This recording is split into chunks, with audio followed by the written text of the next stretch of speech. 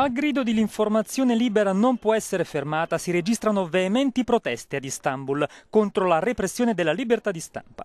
Circa 500 i dimostranti che si sono radunati davanti agli uffici di Bugün TV, molto lontana dalle posizioni di Erdogan, in risposta al raid effettuato dalla polizia che ne ha interrotto con la forza le trasmissioni.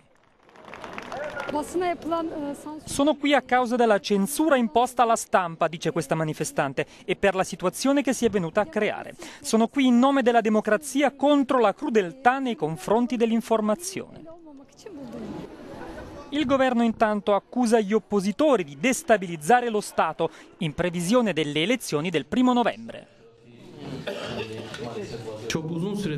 In un modo o nell'altro, afferma il co-leader del partito procurdo Demirtas, per un lungo periodo di tempo siamo stati oggetto di una moltitudine di pratiche illegali ed incostituzionali che non trovano fondamento in alcuna legge nazionale o internazionale.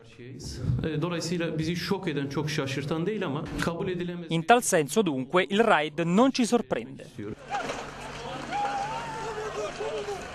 Le forze dell'ordine hanno utilizzato gas lacrimogeni, spray al peperoncino e cannoni ad acqua per sedare il malcontento, mentre alcuni pubblici ministeri hanno tacciato le sommosse alla stregua di un'organizzazione terroristica.